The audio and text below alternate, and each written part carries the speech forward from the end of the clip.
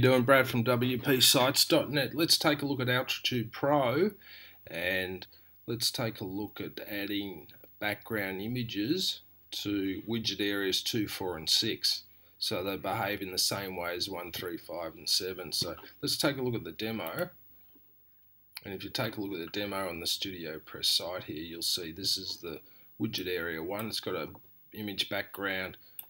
Widget area 2 is a solid section and uh, they've got three with the background, four solid section and so on. So basically this tutorial just shows you how to add uh, images to the back solid section backgrounds in the front page widgets. So let's take a look at uh, the result.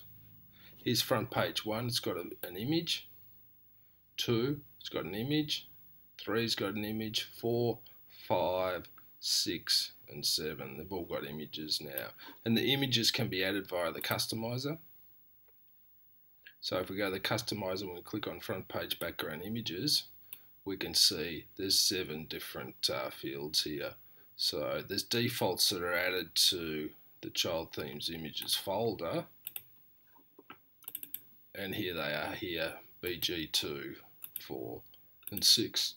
These are the defaults and these are the additional background images. So these will display by default.